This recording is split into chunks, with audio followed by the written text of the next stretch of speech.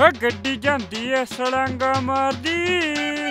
ਓਹੋ ਓ ਦੇਬੋ ਓ ਰੋਟੀ ਬਣਾ ਦੇ ਫਿਰ ਮੈਂ ਡਿਊਟੀ ਤੇ ਜਾਣਾ।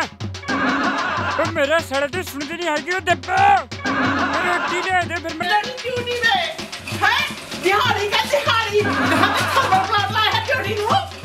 ਲਾਗੀ ਤੜਕੀ ਮੇਰੇ ਕੰਨ ਖਾਣ। ਨਾਲੇ ਜਦੋਂ ਬੰਦਾ ਕੰਮ ਤੇ ਜਾਂਦਾ ਹੋਏ ਟੋਕੀ ਦਾ ਨਹੀਂ ਹੁੰਦਾ। ਲੈ ਚੱਲਦਾ ਵੱਡਾ ਡੀਸੀ ਕੰਮ ਤੇ ਹੈ ਸੱਚ ਤਾਂ ਮੈਂ ਜਿੰਨਾ ਪਤਾ ਹੈ ਨਹੀਂ